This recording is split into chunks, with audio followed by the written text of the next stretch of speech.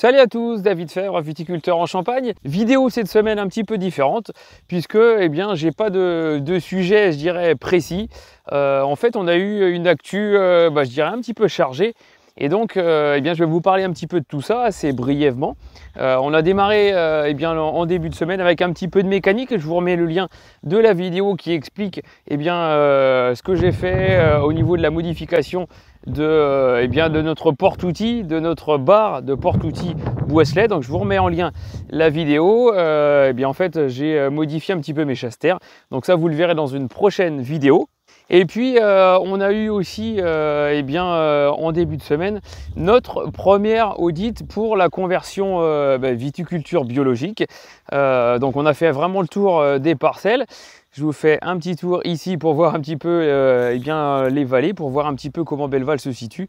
Euh, vous voyez, il y a des forêts euh, eh bien, un petit peu de chaque côté. Il y a des champs également juste en face, puisque ici, juste en face sur la colline, eh bien, c'est pas un secteur où on a le droit de planter, de planter des vignes. Donc voilà, on a fait avec les auditeurs, on a fait le tour de toutes les parcelles pour voir si eh bien, je respectais bien le cahier des charges en viticulture biologique.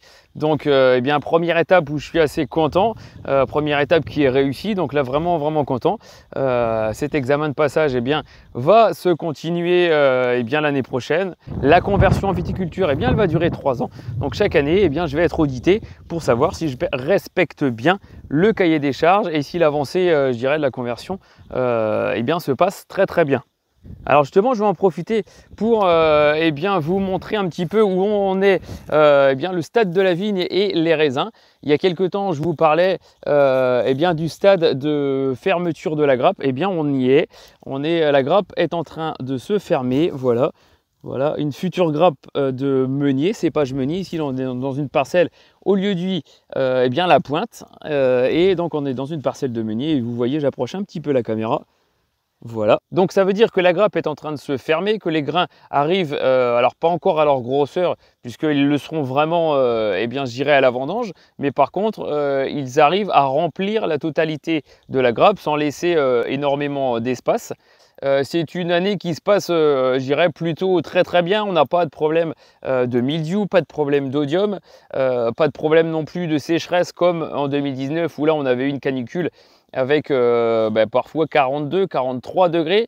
Euh, donc les sols sont, euh, je dirais, réhumectés très très régulièrement. On a eu la semaine dernière de l'orage, mais donc ça s'est bien infiltré. Deux jours après, on a pu sans problème réaccéder aux vignes avec les tracteurs.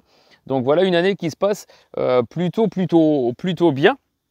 Et euh, donc je dirais, euh, eh bien la cerise euh, sur le, sur le gâteau, eh bien ce que je voulais vous parler également ce matin, eh c'est qu'on est sélectionné pour la finale du concours des jeunes talents de la Champagne. donc c'est l'équipe de Rémi Castillo qui est bien créé le concept de jeunes talents euh, dans divers domaines en France et euh, donc il a aussi importé euh, eh ce concours en Champagne. Donc eh on a la chance d'être sélectionné justement pour la finale euh, des jeunes talents du Champagne, donc avec notre cuvée 100% meunier. Donc je suis assez, euh, je dirais assez fier euh, de ça. Donc il y a encore un petit peu de boulot puisque eh bien la finale c'est pas tout de suite, mais voilà déjà c'est une, petite chose assez, je dirais assez sympa et puis qui, entre guillemets qui récompense un petit peu nos efforts engagés depuis 5 ans sur eh bien le projet de création de cuvée de terroir qu'on vous parle régulièrement. Donc voilà, c'est euh, assez fier de ça et euh, très très euh, impatient, je dirais, de participer à cette finale.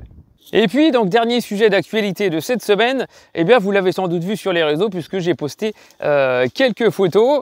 Euh, donc, cette semaine, eh bien, j'ai eu la chance d'avoir euh, en prêt, c'était pour une journée, eh bien, à titre d'essai, j'ai eu en essai un enjambeur un peu particulier puisqu'on n'en voit pas beaucoup en Champagne.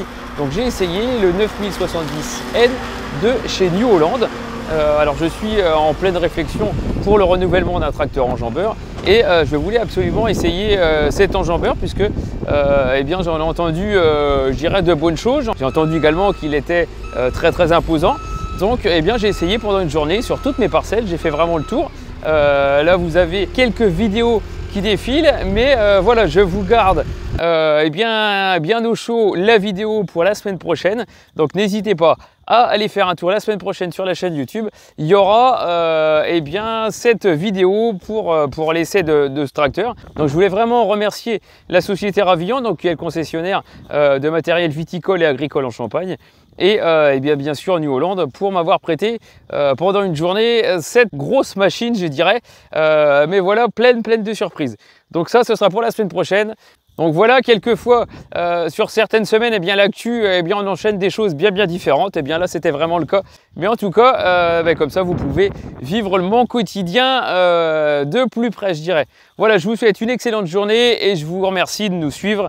et je vous donne rendez-vous à la semaine prochaine, notamment pour cette petite vidéo du tracteur New Holland. Voilà, je vous remercie en tout cas de nous suivre de plus en plus nombreux sur les réseaux. Et je vous souhaite une excellente journée à tous. Allez, ciao, à bientôt. Salut